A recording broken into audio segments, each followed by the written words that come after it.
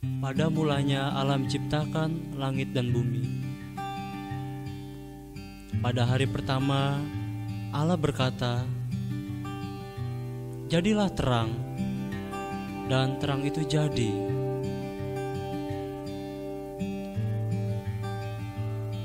Allah menamai terang itu siang dan gelap itu malam. Pada hari kedua, dengan perkataannya, Allah menciptakan cakrawala.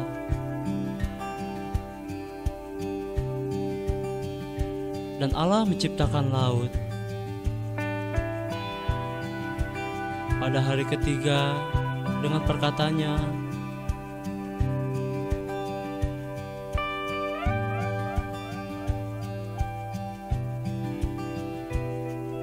Allah menciptakan segala jenis tumbuh-tumbuhan.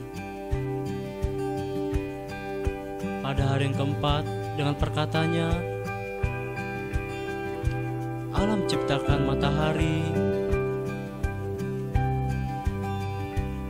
bulan, dan bintang-bintang yang indah. Pada hari yang kelima,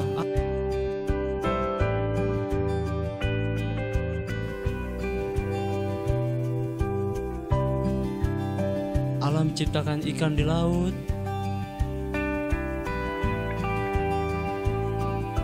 burung-burung di udara,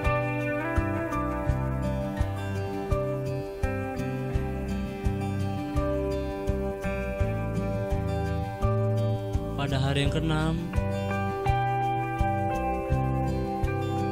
dengan perkataannya, Allah menciptakan segala jenis hewan-hewan liar yang melata dan segala jenis yang bergerak di bumi.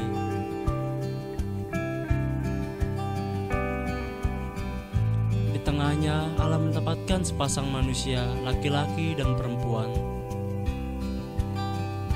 Itulah hari keenam. Pada hari yang ketujuh, Allah berhenti dari segala pekerjaannya dan memberkati semuanya itu.